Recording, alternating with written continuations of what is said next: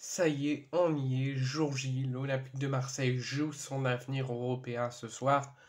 En cas de défaite, il n'y a pas de possibilité d'élimination. L'OM, s'il s'incline, ne sera pas éliminé de toute compétition européenne, ne sera pas rétrogradé, ne sera pas relégué en C4 en la dernière des compétitions européennes, ne sera pas relégué en Ligue Europa Conférence. S'il y a des fêtes, l'OM jouera l'année prochaine, en retour de la trêve des fêtes de fin d'année, jouera les barrages face à de gros d'Europe, dont l'AC Milan. Donc, euh, l'OM, excusez-moi. L'OM, je suis en de guérison et j'ai encore quelques petits euh, symptômes.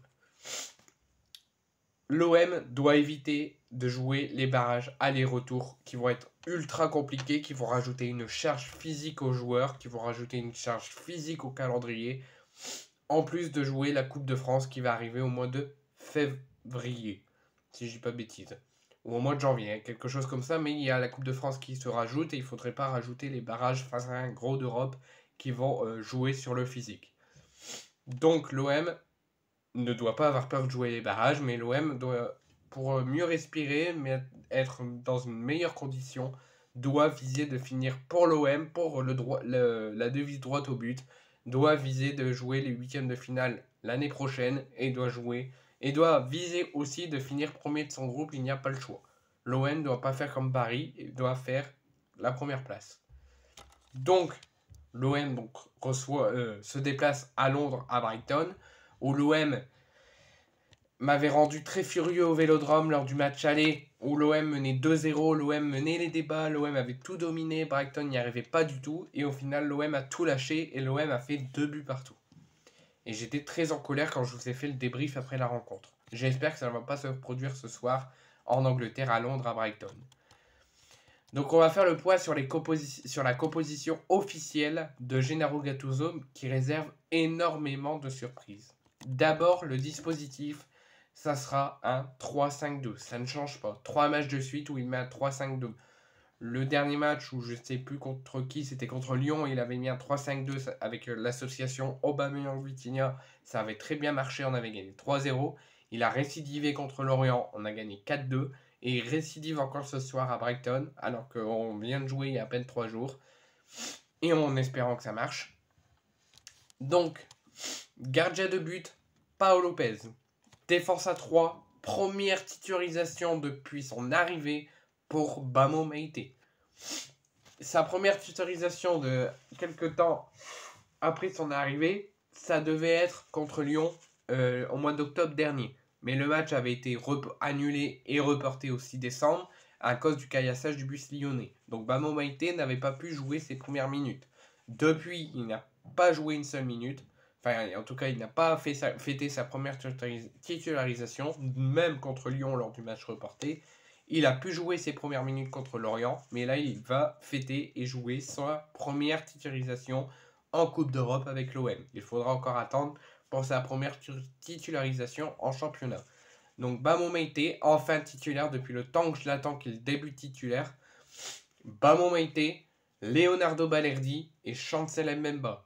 L'absence de Samuel Gigot, selon euh, les, journalistes euh, en Angleterre et selon euh, les vrais journalistes sportifs qui travaillent sur les sites sportifs, qui ne sont pas directement là-bas mais qui, qui, nous communiquent via le site et via le club, Samuel Gigot et Geoffrey Condombia sont absents, ne sont pas titulaires mais sont sur le banc puisqu'ils sont diminués physiquement.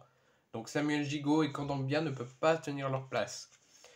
Ils ne sont pas forfaits, mais ne peuvent pas tenir leur place. Donc Pao Meite, Balerdi, Mbemba en défense à 3 avec Mbemba en capitaine. C'est pas arrivé depuis très longtemps qu'Mbemba est capitaine. Piston, Reynal Lodi à gauche. Klaus à droite. Ça ne change pas. Info à donner, Klaus joue sûrement pour apporter l'allant offensif sur les contre-attaques olympiennes, mais c'est surtout parce que Klaus, lors du prochain match de l'ON ce week-end en championnat, au Vélodrome dimanche ou samedi, je ne sais plus, à 17h contre Clermont, Klaus est suspendu. Il a reçu un match ferme plus un match avec sursis. Donc Klaus va jouer pour euh, aussi euh, avoir du temps de jeu avant sa suspension contre Clermont. Ensuite, on attendait euh, Unai sur le banc et bien titulaire, ça ne sera pas le cas. collé à Lodi et Klaus au milieu, ça sera Veretout et Unai. Et en 10, Aminarit. C'est très bien. Depuis quelques temps, il ne bouge pas en 10. C'est très bien. Il fait de très beaux matchs. Juste une fois, il m'a un petit peu déçu. Sinon, il fait de très beaux matchs. Et en attaque, association, ça ne change pas. Aubameyang, Vitinha. Et en espérant, ça, continue et ça fait ce qu'ils ce qu'ils font lors des derniers matchs. Donc énormément de surprises. La surprise, c'est qu'il ne lâche pas le duo Aubameyang-Vitinha, tant demandé depuis euh, son arrivée. Ce qu'il faut retenir, c'est quelques surprises. L'association de Aubameyang Vitinha, mais la première titularisation de Bamo Meite, la non-titularisation d'Iliman Njai, d'Ismail Yassar, enfin les cadres qui jouent habituellement ne sont pas titulaires, c'est quelques surprises. Ce qu'il faut retenir, c'est que Gigo et Kondambia sont là, mais sont diminués, ils sont sur le banc. Il fait un tout petit turnover avec Njai et Sar. Association reconduite 3-5-2. Aubameyang Vitinha. Sur le banc, sur les absents, on peut noter l'absence de Rongier et de Correa blessés, toujours pas remis.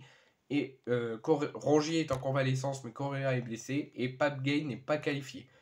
Là, vous allez me dire, euh, avant que je vous l'annonce, où est Pape Gay n'est pas qualifié pour jouer l'Europa League, puisqu'il était suspendu par le tribunal arbitral du sport.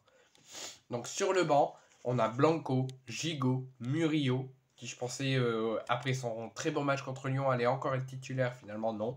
Soglo, Kondombia, Bilal Nadir, Ismail Yassar, Iniman Edjai et François-Régis Mouret. Allez l'OM, on ne fait pas le même match qu'au Vélodrome, on tient le score, on tient la corde 90 minutes et on gagne ce match on va chercher les 8 et la première place.